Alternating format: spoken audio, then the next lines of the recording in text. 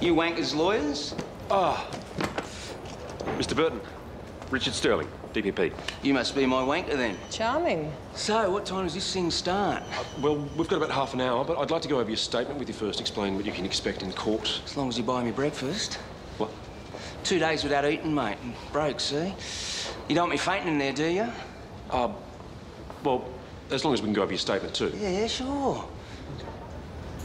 You don't have to do this. He's all I've got for this case. I'm not going in there without a witness. Time's again. ticking, mate. Go get him, Targa.